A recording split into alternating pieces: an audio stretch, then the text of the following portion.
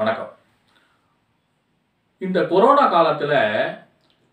பல்வேறு பள்ளிகளில் ஆன்லைன் வகுப்புகள் தொடங்கப்பட்டிருக்கிறது மாணவர்களை பார்க்க முடியாதனால ஆன்லைன் வகுப்புகள் தொடங்கி இருக்கிறாங்க இந்த ஆன்லைன் வகுப்புகளுக்கு என்னெல்லாம் தேவை இன்னைக்கு பதிவில் நாம பார்க்க இருப்பது ஆன்லைன் வகுப்புகளுக்கு என்னெல்லாம் தேவை இந்த ஆன்லைன் வகுப்புகள் என்னென்ன வகையில் நடைபெறுகிறது இந்த ஆன்லைன் வகுப்புகளால ஆசிரியர்களும் மாணவர்களும் படுகின்ற அவதிகள் என்னென்ன சிக்கல்கள் என்னென்ன அப்படின்றத இன்றைய பதிவுகளில் நம்ம பார்க்க இருக்கிறோம் இன்றைய பதிவில் நம்ம பார்க்க இருக்கிறோம் முதல்ல ஆன்லைன் வகுப்புக்கு என்ன தேவை ஆன்லைன் வகுப்பு எடுக்கக்கூடிய ஆசிரியருக்கு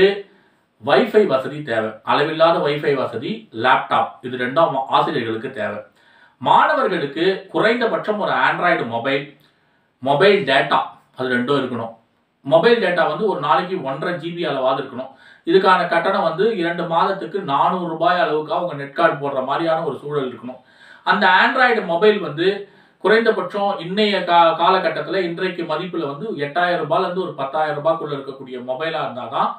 அந்த வகுப்புகளை முழுமையாக அவர்கள் வந்து அனுபவிக்க முடியும் அதை விட கம்மியான விலையில் மொபைல் இல்லைன்னா வாங்கி கொடுக்காதீங்க பெற்றோர்களே அதுக்காக சொல்கிறேன் எட்டாயிரம் ரூபாயிலேருந்து பத்தாயிரம் ரூபாய்க்குள்ள இருக்கக்கூடிய மொபைல் தான் கொஞ்சம் நல்லா இருக்கும் அதுதான் இந்த ஆன்லைன் வகுப்புகளுக்கு பயனுள்ளதாக இருக்கும் இதெல்லாம் ஆன்லைன் வகுப்புகளுக்கு ஆசிரியர்களுக்கும் மாணவர்களுக்கும் ஏற்படக்கூடிய தேவைகள் அதை நான் சொல்லி முடிச்சிட்டேன் அடுத்தது இந்த ஆன்லைன் வகுப்புகள் என்னென்ன வகையில் நடக்குது அப்படின்னா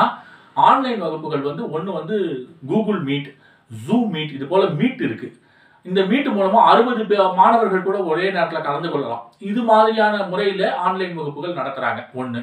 இன்னொன்று வந்து இந்த ஆன்லைன் வகுப்புகளை வந்து வாட்ஸ்அப் மூலமாக பாடங்கள் அனுப்புகிறாங்க ஆசிரியர்கள் வந்து கைன் மாஸ்டர் பிக்ஷாட் இது போன்ற ஆப்புகளை பயன்படுத்தி செயலிகளை பயன்படுத்தி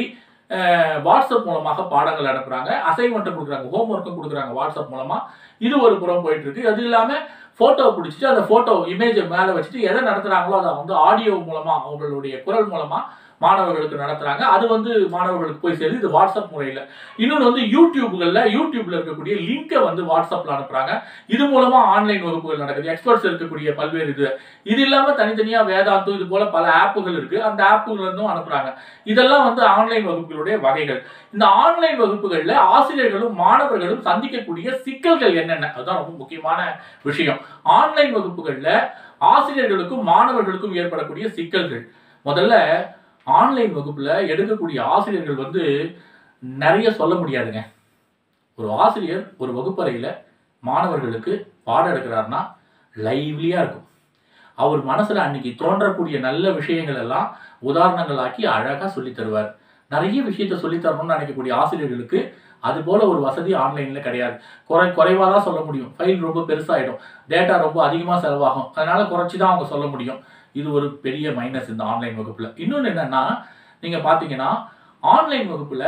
ஆசிரியர்களுக்கும் மாணவர்களுக்கும் இடையே ஒரு இன்ட்ராக்ஷன் இருக்கும் ரெண்டு பேருக்கும் இடையே ஒரு மாணவனுக்கு ஒரு சந்தேகம்னா உடனே அவன் கேட்பான் அன்னைக்கு சந்தேகத்தை அந்த நேரத்திலே வகுப்பறையில் கேட்கறதுன்றது எப்படி இருக்குது வாட்ஸ்அப்பில் வரக்கூடிய பாடங்களையோ இல்லை ஆன்லைனில் வரக்கூடிய பாடங்களையோ குறித்து வைத்துக்கொண்டு எப்போ ஆசிரியரை பார்க்கமோ அது எப்படி இருக்குது அப்போ கேட்குறது எப்படி இருக்குது யோசிச்சு பாருங்கள் அப்போ அவன் நாலு விஷயங்களை கேட்கணும்னு நினைப்பான் அது ரெண்டு விஷயத்தை கேட்பான் ரெண்டு விஷயத்தை கேட்காம விட்டு போயிடுவான் இது ஒரு பெரிய குறையாக ஆசிரியர்களுக்கும் மாணவர்களுக்கும் இருக்கக்கூடிய சிக்கல்களில் முக்கியமான சிக்கலாக இருக்கக்கூடியது இது ஒன்று அது மட்டும் இல்லாமல் ஆன்லைன் வகுப்புகளில் மாணவர்கள் பார்த்து கொண்டிருக்கும் போது எஸ்பெஷலி தேர்ட்டின் டு நைன்டீன் இந்த டீனேஜில் இருக்கக்கூடிய மாணவர்கள் பார்க்கும்போது தேவையற்ற பதிவுகள் நிறைய அதில் வரும் குறிப்பாக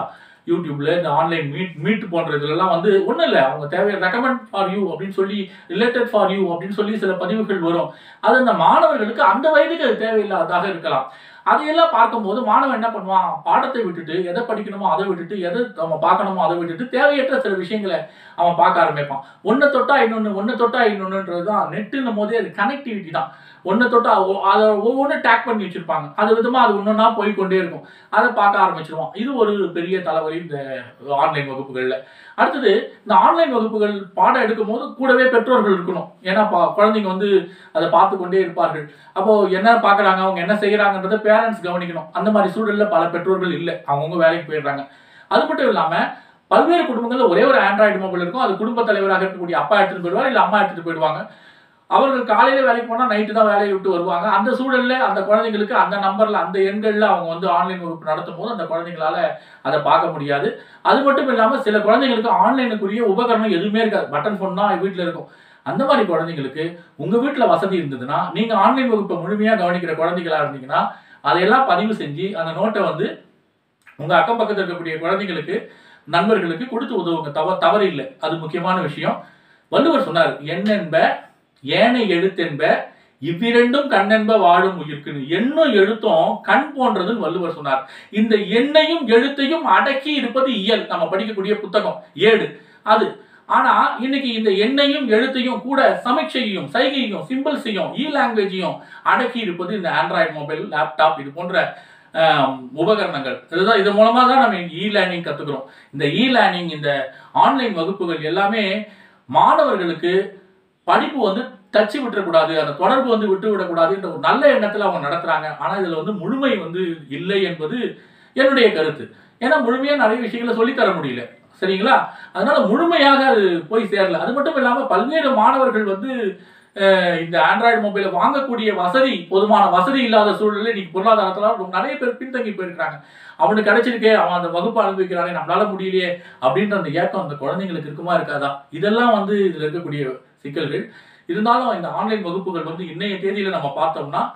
இல்லாத ஊருக்கு இழுப்பைப்பு சர்க்கரை என்பார்களே அது போலதான் இருக்கும் என்பது என்னுடைய கருத்து இதுதான் இந்த பதிவின் மூலமாக நான் தெரிவித்திருப்பது இந்த பதிவினை நீங்கள் விரும்பினால் லைக் செய்யலாம் பகிர விரும்பினால் ஷேர் செய்யலாம் மறவாமல் சப்ஸ்கிரைப் செய்யுங்கள் நன்றி வணக்கம்